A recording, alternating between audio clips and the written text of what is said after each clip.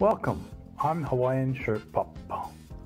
Sometimes with others, I visit a variety of antique, vintage, and thrift shops within southern Ontario. Sometimes we don't get anything.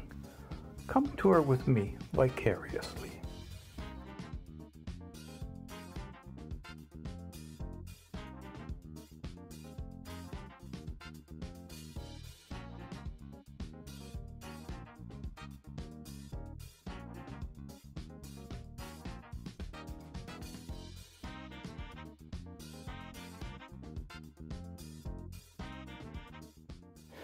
Welcome to a tour of the St. John's thrift store in Toronto by Hawaiian Shirt Pappa. Interesting little store, nicely appointed, great selection of items.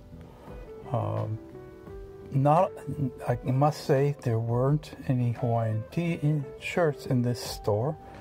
They had lots of children's clothes, women's clothes. They did have some men's clothes lots of hard goods, books. Um, overall, a very nice store, great prices. We picked up a few things. Some things we have to do a little work on, but that's okay. I'm not sure we're selling them, but we are going to have to do something with them.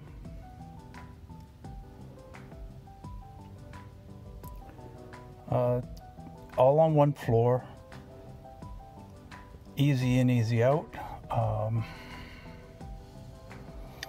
there's a little nook at the back where it's got more of the hard goods and what they figure are more day to day kitchenware and so on and so forth, cups, saucers, and some jackets and coats.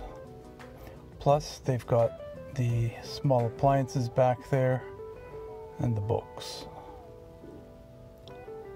Nothing in particular stood out for me in any of it, but overall, if you're looking for some of these kind of things, you'll probably do quite well here.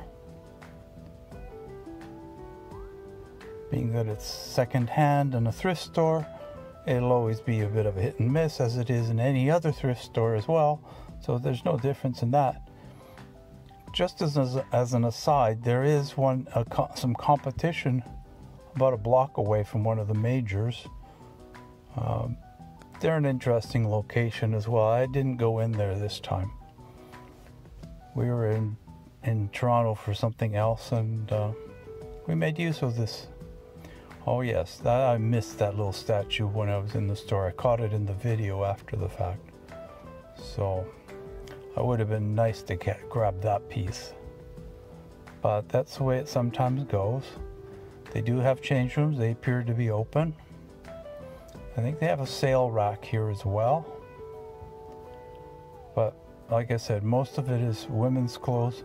There's just a little bit of men's clothes around. So, ladies, you're gonna have uh, an interesting search here.